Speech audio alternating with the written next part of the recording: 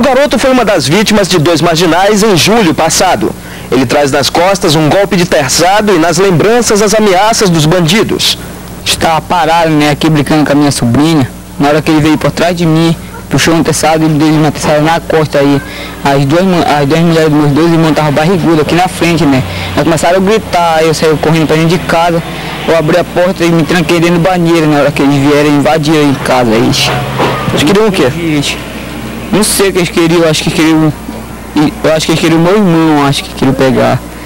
A mãe do menor, dona Isabel, ainda guarda a ocorrência registrada na delegacia. A polícia não encontrou os bandidos. Sexta-feira passada, os mesmos marginais atiraram em outro filho dela e em outro garoto, também menor. O cara veio, nós estava brincando, aí eu, o Arlen veio e atirou nós. Não. não disse nada, chegou atirando? Chegou atirando ele. Chegou atirando para matar ele. Você sabe por quê? Não.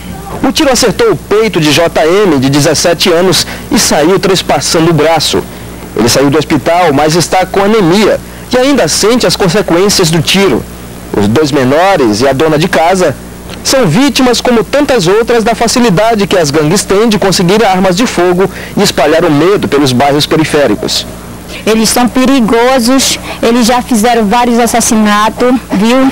Então eu acredito sim, porque eles são muito perigosos, são muito. Eles, inclusive, eles nesse dia eles mandaram ver quem era que estava aqui em casa. Por isso que eles avançaram para matar o menino, porque ele quase não sai de casa.